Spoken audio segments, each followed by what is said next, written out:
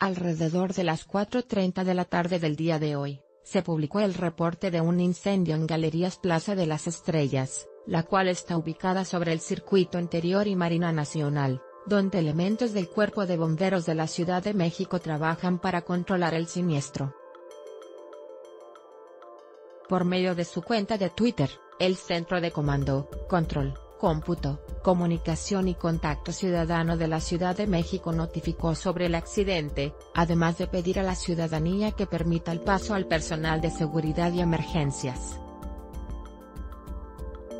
Según los primeros reportes, el problema inició al interior del centro comercial Galerías Plaza de las Estrellas, en la colonia Verónica Ansúrez, de la delegación Miguel Hidalgo.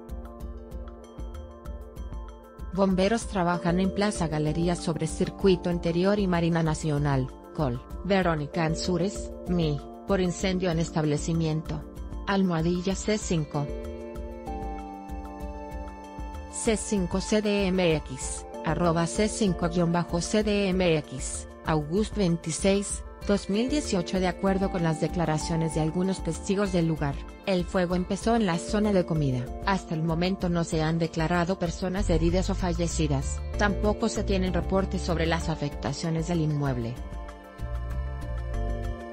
Por el momento la zona permanece acordonada por el personal de seguridad del centro comercial, además de elementos de la Secretaría de Seguridad Pública, SSP, local. El año pasado se suscitó otro incendio en la misma plaza. El 22 de abril se registró un siniestro debido a un cortocircuito que se originó en una sala de cine de Plaza Galerías.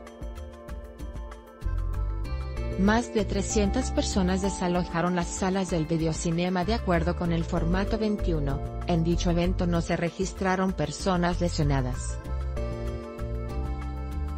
Con información de Reporte Índigo, Excelsior, El Universal y Milenio. Anímate a comentar.